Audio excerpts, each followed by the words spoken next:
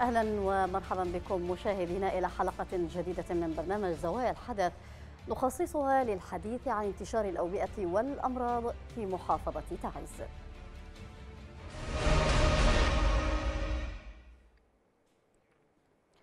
أفاد مسؤول في وزارة الصحة بظهور فيروس جديد يطلق عليه غرب النيل في عدة مناطق بمحافظة تعز ونقلت وكالة الأناضول عن المسؤول قوله أنه تم التأكد من وجود عدد من المصابين بالمرض أثناء تلقيهم العلاج في مراكز صحية غير أنه لا توجد حتى الآن إحصائية محددة حول عدد المصابين. ويأتي ظهور الفيروس في ظل استمرار انتشار وباء حمى الضنك في تعز الذي أدى إلى وفاة عشرة أشخاص مع تسجيل عشرة آلاف حالة يشتبه إصابتها بالوباء منذ بداية العام الجاري. نتوقف عند هذا الخبر لنناقشه في محورين أسباب ومشاكل استمرار انتشار الأوبئة في محافظة تعز ودور السلطة المحلية والحكومة الشرعية في الحد من مخاطر تلك الأوبئة. نذهب الآن لمشاهدة هذا التقرير الذي أعده الزميل عبد الرقيب الأبارة ومن ثم نعود لبدء النقاش مع ضيوفنا. أتت الحرب على كل شيء في البلاد. بعد أن أدى انهيار القطاع الصحي إلى انتشار أمراض الكوليرا وحمى الضنك ومؤخرا فيروس غرب النيل. الفيروس الذي يظهر لأول مرة في البلاد بات يهدد حياة الآلاف من الأطفال بعد انتشاره في محافظة تعز. مصادر صحية أكدت تسجيل عدد من المصابين بالمرض أثناء تلقيهم العلاج في مراكز صحية بمدينة تعز غير أنه لا توجد حتى الآن إحصائية محددة حول عدد المصابين. ووفق منظمة الصحة العالمية فإن الفيروس الذي ينتقل إلى البشر عن طريق لدغات الباعوض الحامل للعدوى يمكن أن يتسبب في الإصابة بمرض عصبي. في الأثناء يواصل وباء حمى الضنك يواصل وباء حمى الضنك انتشاره في المحافظة ما أدى إلى وفاة عشرة أشخاص وتسجيل عشرة آلاف حالة يشتبه إصابتها بالوباء منذ بداية العام الجاري 2019 وفي محاولة للحد من انتشار الأوبئة التي تجتاح محافظة تعز قام مكتب الصحة بالمحافظة بحملة رش ضبابي لمكافحة الباعوض في مختلف أحياء المدينة. وأمام ما يعانيه البلد من أزمات إنسانية وصحية عديدة تقف الحكومة الشرعية والتحالف عاجزين عن وضع حلول للانهيار الصحي في البلاد والذي يتفاقم من يوم إلى آخر بسبب الحرب المستمرة منذ خمسة سنوات. مرحبا بكم مشاهدينا مجددا وأعود لتذكيركم بعنوان هذه الحلقة هو حول انتشار الأمراض والأوبئة في محافظة تعز وظهور وباء جديد اسمه غرب النيل. لربما نتحدث قليلا عن هذا الفيروس هو شبيه بحمى الضنك له نفس الأعراض حمى صداع. أيضا هذا المرض لا يمكن الكشف عنه بسهولة. هذا المرض مؤخرا ظهر في مدينة تعز. نتحدث لماذا تكثر أو تزداد ازدياد ظهور الأمراض في محافظة تعز؟ وأيضا أين دور السلطة المحلية في مكافحة هذه الأوبئة والحد من انتشارها؟ إذا مشاهدينا الكرام نرحب بأول ضيوف حلقتنا لهذا اليوم من مدينة تعز نائب مكتب الصحة بمحافظة تعز عبد الله القياضي. مرحبا بك معنا سيد عبد الله أهلا وسهلا بكم. حدثنا بداية عن طبيعة هذا الوباء وأيضا أين انتشر؟ ما هي المناطق التي ظهر فيها؟ أهلا وسهلا بكم ارحب بكم وكافه الأخوة الساده المستمعين والمشاهدين. طبعا هذا واحد من الادويه اللي تنتقل عبر ال عبر النفس والبعوض. لا يختلف كثير عن عن الأمراض المنقولة بواسطة البعوض وليس هو هو الوباء الوحيد الذي هو موجود يعني. الملاريا وحمى الضنك وال والحمى غرب وادي النيل. نعم. واحدة من الأمراض التي تنشرها الفيروس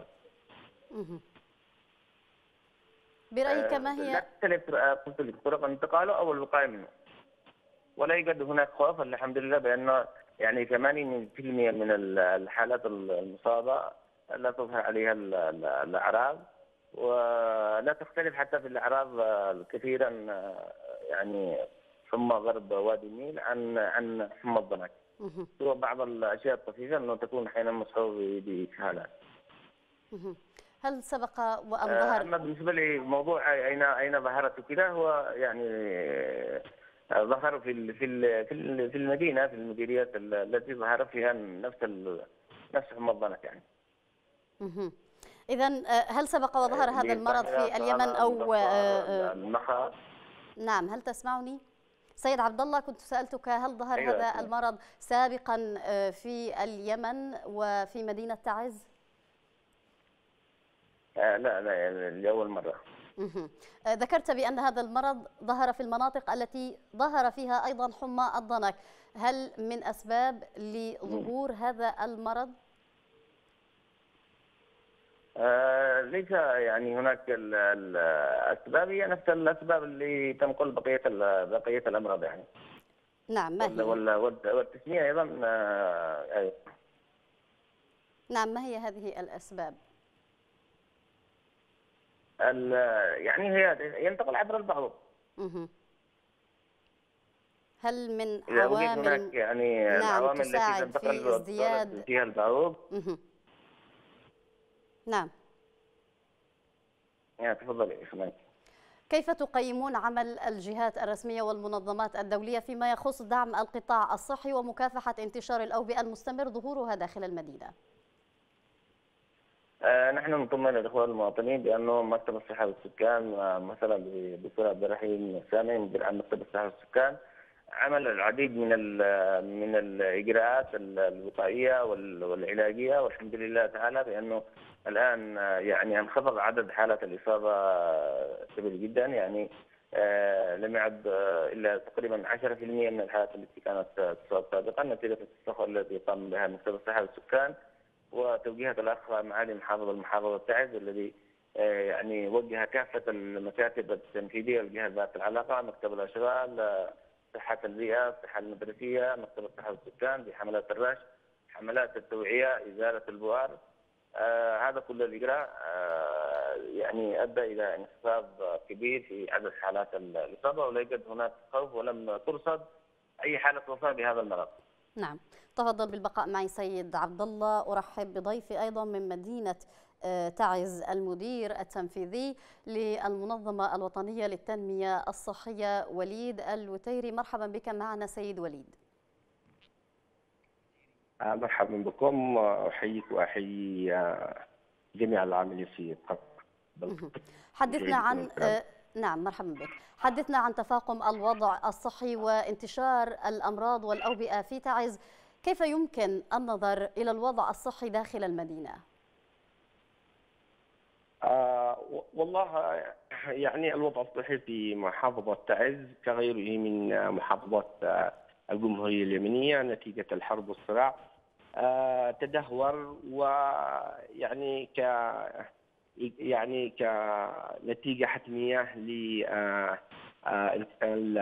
آه، آه، المستمرة منذ سنوات. أضف إلى ذلك بأن آه، المنظومة الصحية في اليمن ككل كانت آه، تعاني من أسوأ آه، حالاتها منذ ما قبل الحرب وجاءت هذه الحرب كما نقول بشكل مستمر ويعني زادت الطين بالله أدت إلى عودة الكثير من الأمراض التي كانت قد اختفت من اليمن نهائيا نعم. ابتدأت في أبريل 2017 بجائحة الكوليرا ثم تلتها العديد من الجائحات جائحة الدفتيريا والتي أودت بحياة العشرات خصوصا الأطفال.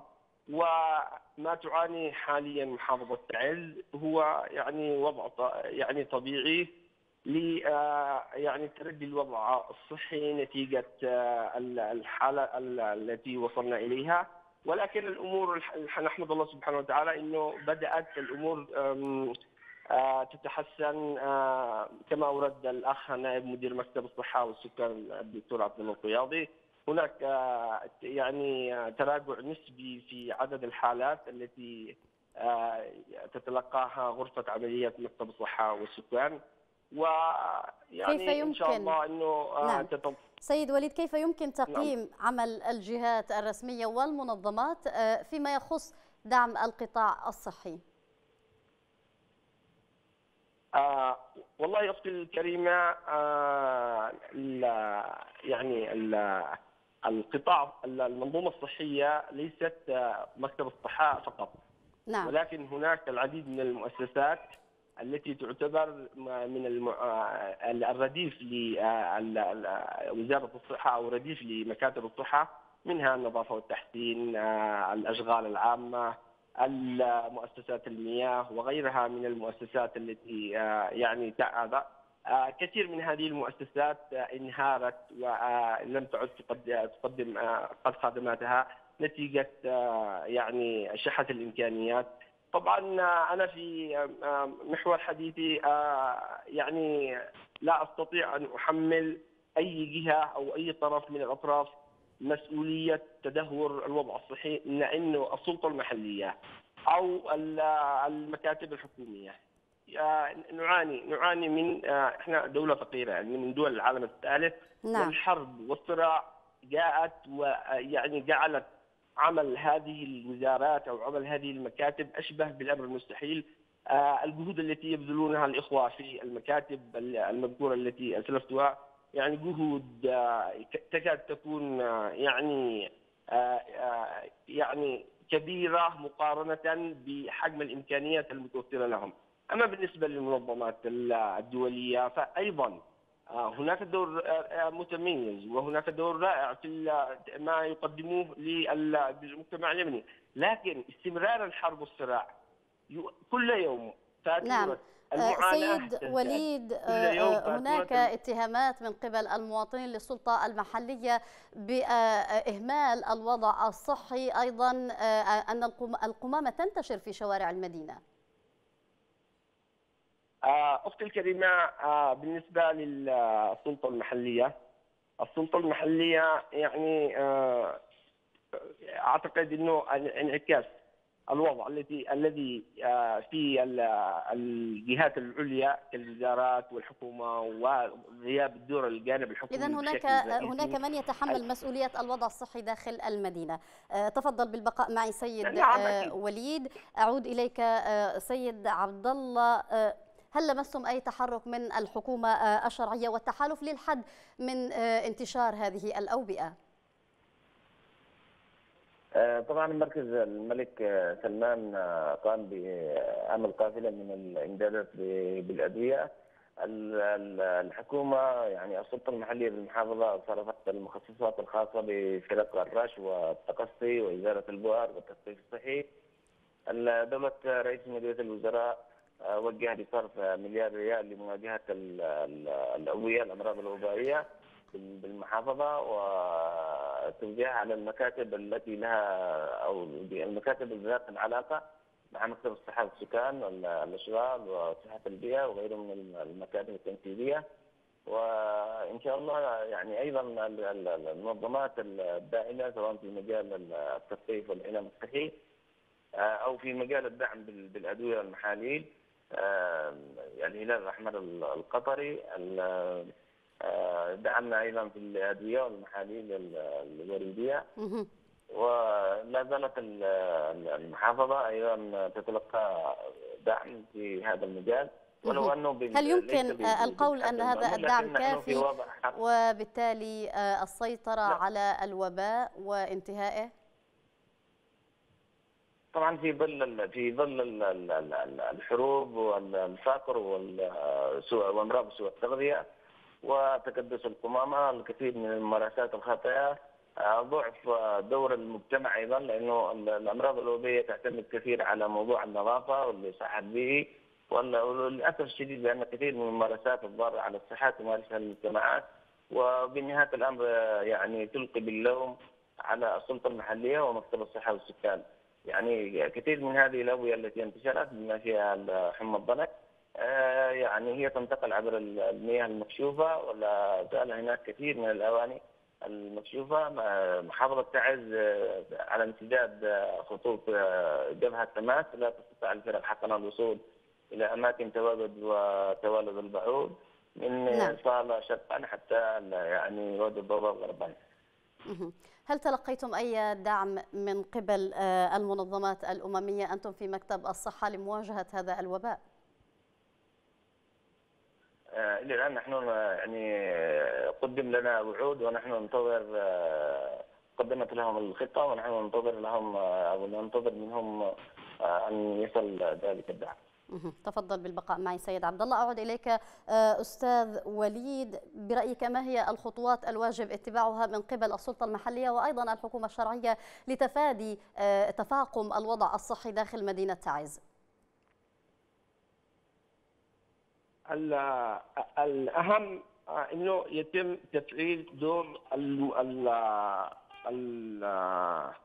المستشفيات الرئيسية في محافظة تعز، المستشفيات الرئيسية أربع مستشفيات في محافظة في داخل مدينة تعز تكاد تستقر لأبسط مقومات تقديم الخدمة الصحية للمواطن. أضف إلى ذلك لابد من تفعيل صندوق النظافة والتحسين والذي يعني يستقر أيضا لأبسط الإمكانيات التي تجعل تجعله يقوم بدوره على الوجه المطلوب. صندوق النظافة والتحسين يعني البوادير أو القلابات التي يتم نقل النفايات والمخلفات الصلبة يتم استئجارها بايجار أيضا ايرادات صندوق النظافة والتحسين تكاد تكون شبه معدومة. لابد من رفض هذا الصندوق بالإمكانيات والمعدات والتجهيزات اللازمة ليمارس عمله. بالإضافة إلى أنه في معنا قضية مستمرة منذ سنوات. عمال النظافة الذين يتقاضون رواتب بالأجر اليومي. أحيانا تمر عليهم أشهر وهم لا يتقاضون يعني. وأيضا لابد من تحسين وضعهم المعيشي كي يستشعروا بأنهم جزء من هذا المجتمع، يعني ما يتقاضوه شيء بسيط ويسير. أيضا انعدام المياه، انعدام المياه تعز في كثير من تقارير المنظمات الدولية منذ التسعينات الماضية والتقارير تشير إلى أن محافظه تعز من المدن التي تعتبر يعني تفتقر للمياه من والمياه تكاد تكون معدومة.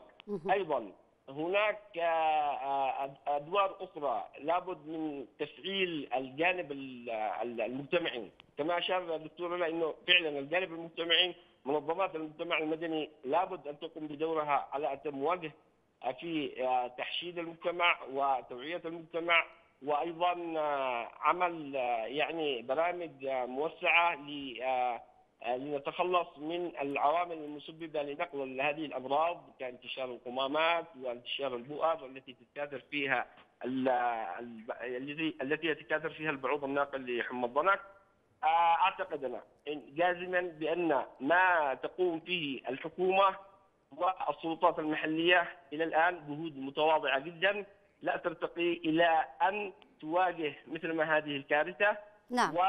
واذا استمر هذا ال ال ال هذه الجهود المتواضعة أنا أعتقد إنه العديد من الأمراض الأخرى بالإمكان أن تظهر نتيجة تردي الوضع الصحي نتيجة غياب معززات الصحة نتيجة أيضا العامل النفسي المواطن في تعز أو في غير تعز مع استمرار الحرب والصراع نعم. وطول مدتها هذا يعني تسبب في ضغط نفسي والضغط النفسي يعمل على يعني تخفيض خفض المناعة لدى وهذا أثبت علميا إنه الجانب النفسي له دور كبير في إضعاف المناعة مما يجعل أي مواطن أكثر عرضة للمرضى ولتلقي المرض، أيضا الوضع الاقتصادي السيء الذي يعيشه معظم أبناء اليمن معظم أبناء اليمن الآن تحت خط الفقر، الوضع الاقتصادي انعكس بدور سلبي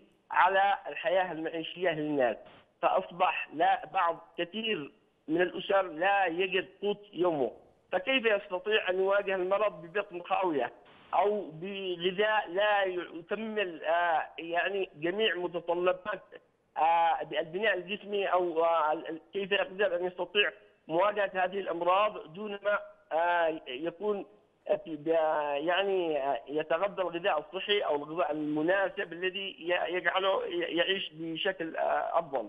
نعم. شكرا لك وليد الوتيري المدير التنفيذي للمنظمة الوطنية للتنمية الصحية. كنت معي من مدينة آه، تعز. أعود إليك أستاذ عبد الله لو تحدثنا أكثر عن الإرشادات التي آه، يجب على المواطنين اتباعها للحد من انتشار هذا الوباء وحماية أنفسهم من هذا الفيروس. طبعا قبل ما أبدأ في موضوع الوقاية أيضا آه، منظمة الصحة العالمية يعني على ردا على سؤالك السابق آه، قدمت وصلت اليوم عباره عن شحنات أدوية لعدد 17 مرفق صحي. كما أنها قدمت أيضا ثلاث حملات سبقت في شهر إبريل ويوليو وأغسطس من هذا العام لحملة رش بالفضائي مع إزالة البوار مع تثقيف صحي. آه، أيضا آه، كما ذكر الأخ زميلي وليد بأنه المنظمات الأممية أيضا هي تدعم الصحة بمعززات الصحة بشكل عام في في وتؤدي دور كبير يعني. ولا زال الدور أيضا مأمول عليها بشكل كبير جدا لأنه لولا تدخل تلك المنظمات لانهار النظام الصحي بالكامل. آه، أيضا الشيء الثاني بانه لا زال هناك آه، اللجان التي شكلها مكتب الصحه والسكان من آه، غرفة عمليات لا زالت اللجان لجان الدراسه والبحث المستمره بعملها بالتعاون والتواصل والتنسيق مع المختبر مختبر الصحه المركزي لتعز نعم. ومكونة من الجامعة ومن الخبراء أما في حكاية الوقاية طبعا آه، هي نفس الوقاية من الأمراض المنقولة بواسطة البعوض بشكل عام. آه، يعني ازاله اماكن تواجد المياه عدم ترك الأواني مكشوفة. اثناء الامطار والاحتفاظ بمياه. نعم. ضرورة أيضا يعني عمل الناموسيات والشبك على النوافذ. ويعني استخدام وسائل الرش للبعوض داخل داخل المنازل لأنه أيضا نلقى صعوبه في بعض الأحيان في دخول فرق الرش إلى هذه المنازل أو الوصول أيضا شكرا. إلى إلى الأماكن التي يتواجد فيها تولد وتواجد البعوض ونتيجة كثرة المخلفات الموجودة من نتيجة الهدم وتعرض كثير من المباني والخزانات المياه على أسطح المنازل تأثرت بالرصاص الراجع أو الرصاص اللي أتى إليها بشكل مباشر جدا. نعم نكتفي بهذا يعني إزالة هذه الأشياء تجعل أيضا نعم. يعني لا يوجد هناك كثير من الحالات أنه هذه يعني